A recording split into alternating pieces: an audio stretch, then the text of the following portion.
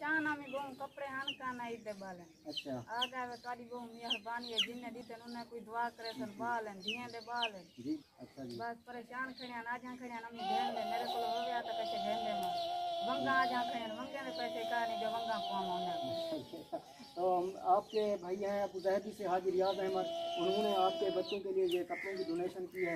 उन्होंने दिए हैं इनको ईद के लिए नए कपड़े आपने उनके लिए दुआएँ करनी है। जी हाँ अल्लाह पाक उनकी लंबी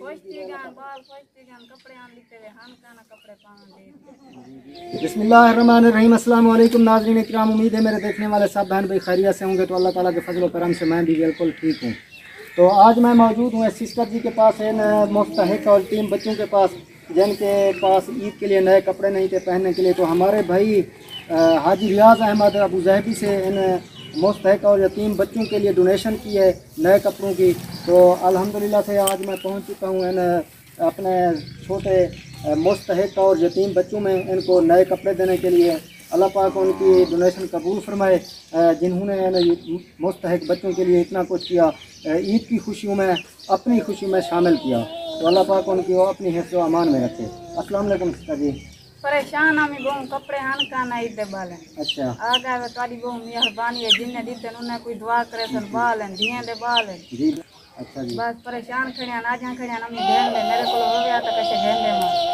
वंगा आ जाते हैं, वंगे ने पैसे का नहीं, जो वंगा कौन होने तो आपके भैया हैं अबू जहबी से हाजिर रियाज अहमद उन्होंने आपके बच्चों के लिए ये कपड़ों की डोनेशन की है उन्होंने दिए हैं इनको ईद के लिए नए कपड़े आपने उनके लिए दुआएँ करनी है।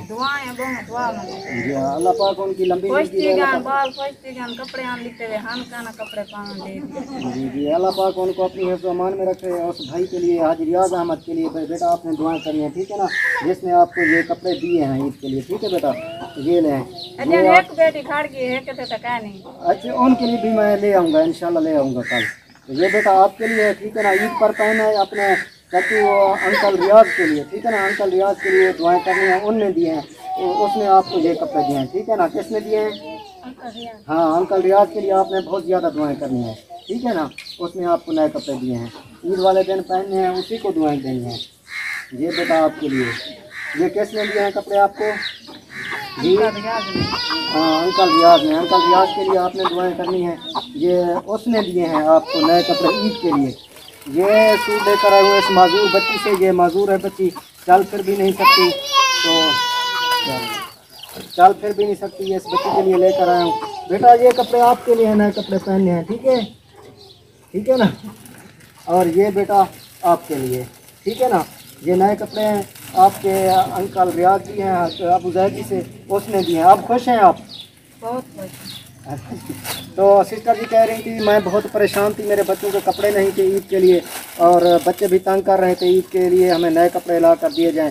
तो हमारे पास इतनी तोफीक भी ना थी कि इन बच्चों को नए कपड़े ला कर दूँ।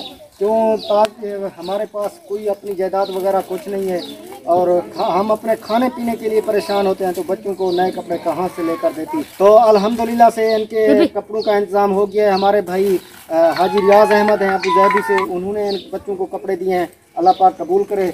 तो आपने सिस्टर जी अपने भाई हाजी रियाज अहमद के लिए दुआएँ करनी है। जी अल्लाह पाक उनकी तमाम मुश्किल दूर फरमाए। अल्लाह पाक उसके माल रिस्क में बरकत पाए। जी बेटा ठीक है ना आपने अंकल रियाज के लिए आपने दुआएँ करनी है ठीक है? ईद वाले दिन ये कपड़े पहनने हैं। उन्होंने दिए हैं आपको ये कपड़े अजानी है? एक बेटी मेरी खड़ गई है अजानी कहानी जुच्चाई कहानी में जा मेहरबानी कर सकते हो दुआ दिवाए जी जी इंशाल्लाह। के देव न्याय। इंशाल्लाह इंशाल्लाह हो जाएगा सिस्टर आप परेशान ना हो तो नाज़रीन किराम मेरी रिक्वेस्ट है आप लोगों से ईद वाली दीवार आके मुँह बड़ा बना पाती खड़न बाल हे कशे नी कशे आके देगी ना नहीं नहीं आप तो मिल गए ना ये जिन बच्चों को ये तो पहनेंगे ना। जी जी इंशाल्लाह। अपने मंगो खुश की बताया माँ जान पावे आमीन आमीन। तो बच्चे खुश हो गए हैं नए कपड़े देखकर ईद वाले दिन पहनेंगे इंशाल्लाह। नाजरीन किराम मेरी रिक्वेस्ट है आप बहन भाइयों से तो ऐसे मुस्तक लोगों का इंतखब करें जिनके पास कुछ नहीं होता। ईद वाले दिन बेचारे सारा दिन रोते रहते हैं हमसाइयों के बच्चों को देखकर।